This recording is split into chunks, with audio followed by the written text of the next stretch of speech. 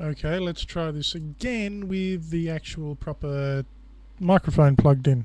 So I'm just waiting for the next episode of Purser Explores the World to render, and I thought I'd do a test recording on YouTube and see how we go there. Just see how the sound works and what sort of quality we get from the video.